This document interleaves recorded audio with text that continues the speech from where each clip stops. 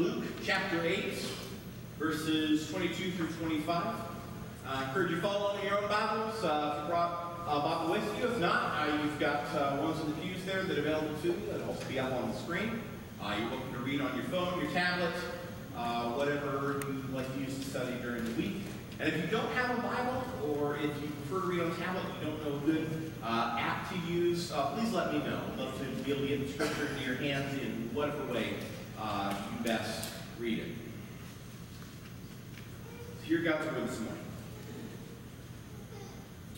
One day he, Jesus, got into a boat with his disciples, and he said to them, Let us go to the other side of the lake. So they put out, and while they were sailing, he fell asleep.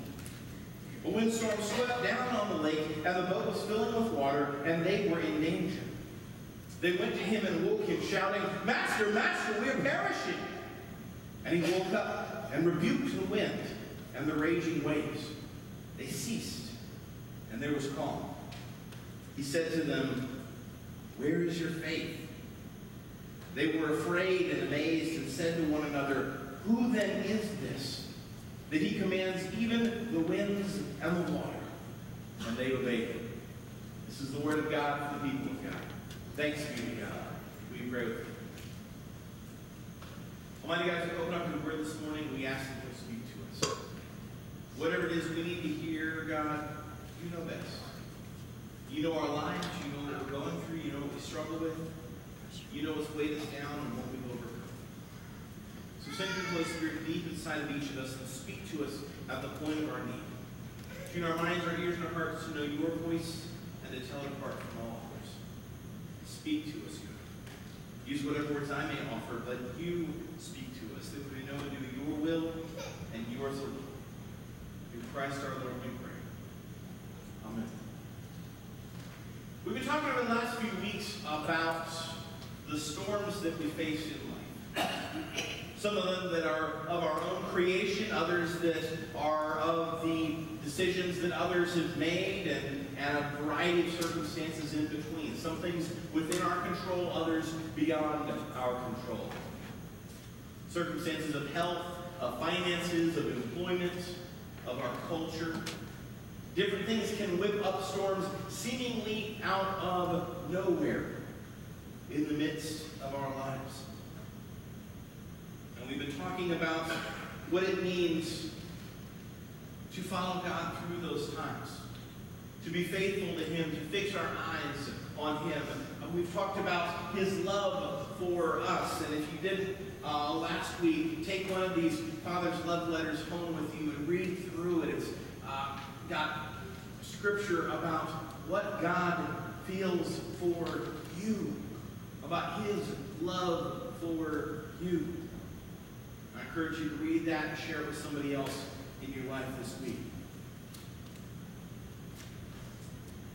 But one of the things about the storms is that God can also use them to remind us of where He is and to refine and shape us in the midst of the storm. In our scripture this morning, Jesus has uh, been going through the whole region of Galilee. They've been going town to town. They've been uh, preaching in one place and then another and then another. He's been teaching. He's been healing. He's casting out demons. He's been uh, performing miracles. And they keep moving to new areas so that more and more people can understand who Jesus is. And so coming into this uh, and, and, and we see in other parts of this gospel, in the Gospel of Mark and other places, uh, just how much this is wearing down on Jesus and the disciples at times. And so they get ready to move on to their next area. Jesus says, you know, let's get in the boat, let's go to the other side of the lake. There's some people over there we need to go see next. And so they get into the boat, and Jesus goes to the back of the boat and falls asleep. Maybe this is uh, a picture of his humanity here. We know that Jesus is fully human and fully divine, and so both of these are uh, core to who he is, and so maybe we're seeing his weariness here. Maybe we're seeing uh, the fact that, you know, in the creation story, God, even, who has certainly no weakness, stops to rest on the seventh day. So maybe we're seeing an echo of that. But whatever the case, he goes to the boat, he lays down, and he falls asleep. And all of a sudden, this storm whips up out of nowhere. There's a lot of theories about this storm. There's some uh, thought that because of the, the geography of the area that uh, the Sea of Galilee is, is prone to storms like this popping up, uh, that this is a, a common occurrence there. There are other thoughts that this is maybe more, uh, less of a natural occurrence and more of a supernatural occurrence. This was the uh, spiritual forces that were working against Jesus, uh, trying to take a shot at him uh, to stop him from getting to the cross, from getting to the point of his journey here. There's not a lot of clarity in the scripture about which kind of storm this is. There's some hints here and there that people have pointed to, but uh, it's not uh, really Luke's point in sharing this to give us that background. But the storm comes up out of nowhere, and we know that at least four of these disciples have some uh, experience with ships and with storms. We've got uh, Peter, Andrew, James, and John are all professional fishermen, and so uh, you know they're trying their best to keep this boat afloat. But it's hit the point where this storm is so bad that they are terrified that they are going to die.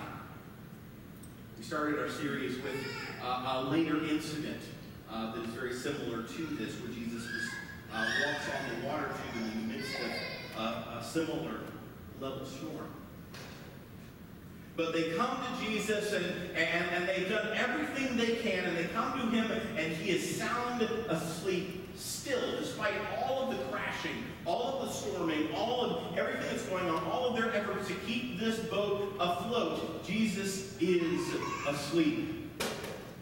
Any of y'all have that person in your life that's a heavy sleeper? You know somebody, maybe you are that somebody, I see fingers being pointed. Yeah, a lot of people are volunteering their, uh, their, their, spouses and roommates here. Um, and it's always fun when you've got somebody who's a heavy sleeper and somebody who's a light sleeper. Uh, and, and the heavy sleeper won't wake up for anything. I'm that in my family. I sleep very soundly. My wife doesn't always. I, I sleep so soundly that, that, that from what I've been told, now I, I was asleep through this, so I don't know the truth of this or not, but during a youth lock-in in high school, that man wants to run.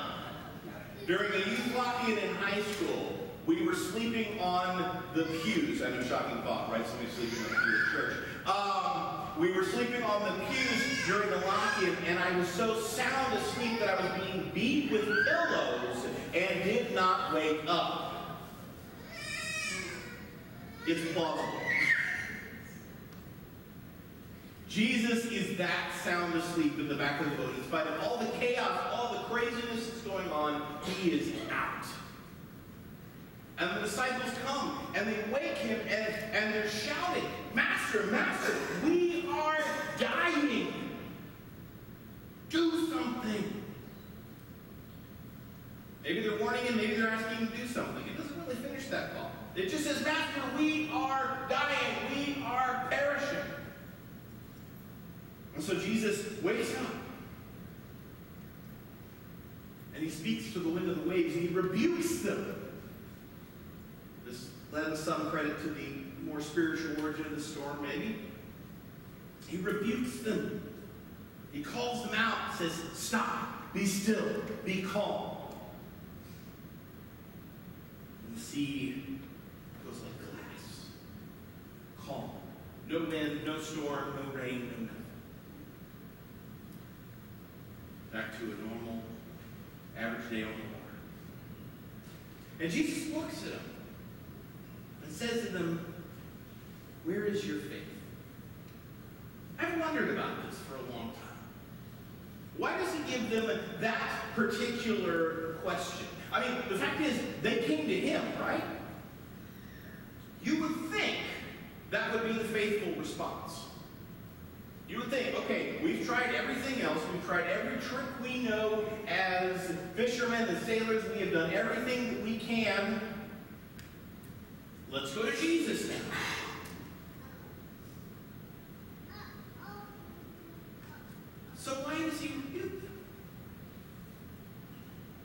I think in part, the question here about their faith has to do with the nature of the way in which they're coming to him. They're coming in a panic. They're shouting at him. Master, Master, we are going to die. They're asking out of panic, fear, worry, instead of out of trust. They're not coming to him in a Jesus, we need you to move. We need you to act. Going on around us. There's all this chaos. There's all this storm. We know you are the one who can overcome all of this. So help us. Instead, they're coming in panic. They're coming in fear. So maybe that's it. You ever go to Jesus in a panic? You ever go to him at the end of your rope? There's nothing wrong with that.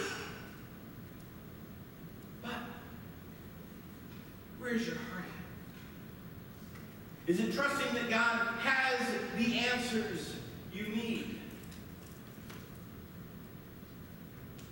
Or are you seeking Him as the last resort? Because you don't know what else to do. Maybe there's more to it than that. Because think about this. The disciples know to varying degrees who they're with. They're kind of all kind of working through that process, and it's clear by the end of this that they're still not entirely sure who Jesus is. But here is with them the Son of God, the Savior of the world, the Christ, the Anointed One, the Messiah. And he's got a mission to fulfill.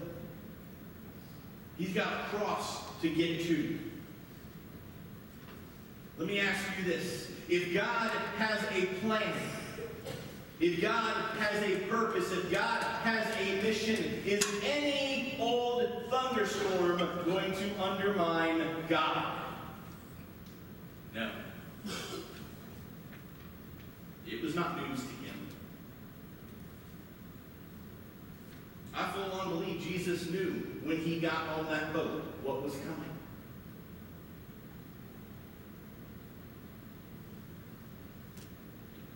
And is God going to let his son sink to the bottom of a lake when he's there to save the world? I don't think so. So maybe some of the faith was about the way in which they approached him, and maybe it is just, look, you are in the company of God right now. Have some faith that God's going to take care of this. Trust that He will care for you. They thought they were going to die. So, at some level or another, they were not trusting.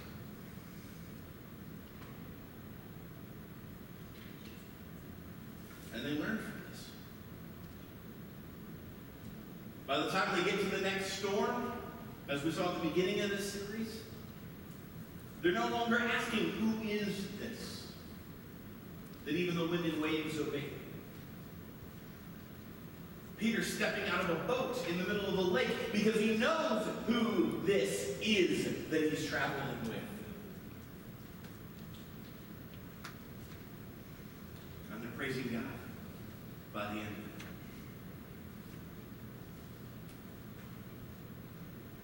So let me ask you when life's storms come on you, it may take a lot of different forms. There's a lot of people riled up about what's going on in General Conference right now. You read on Facebook, Twitter, all those places, you got some really panicked people out there. We go through our own challenges. Running short on finances, job changes, moves, family crises. How are we coming to God? Are we panicked? Or are we trusting? Are we afraid? Or do we have our sure hope in the one who is Lord over every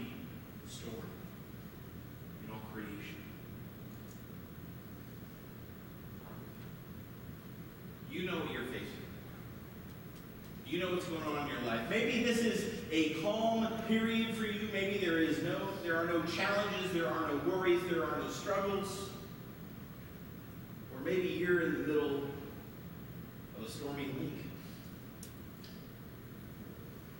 I want you this morning to lay it all before God.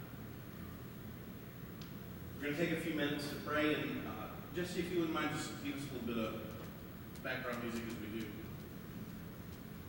I want you right where you are, or you can come up to the front, kneel down at the rails. I want you to put into God's hands everything that worries you, everything that's got you afraid, every struggle, every storm. Put it into His hands. Give Him the fear, the anxiety, the worry, the fretting. put your full trust in Him. You're welcome to come down and kneel here and pray. If you want me to come and pray with you, just lift up your hand. I'll come pray with you. Let's seek the Lord together.